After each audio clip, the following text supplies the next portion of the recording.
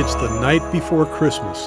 The sleigh is packed with toys, so Santa can bring drones to all girls and boys. The drones were placed in all stockings with care, because if everyone gets one, they don't have to share. Millions of parents count St. Nick as a friend because Santa always comes through in the end.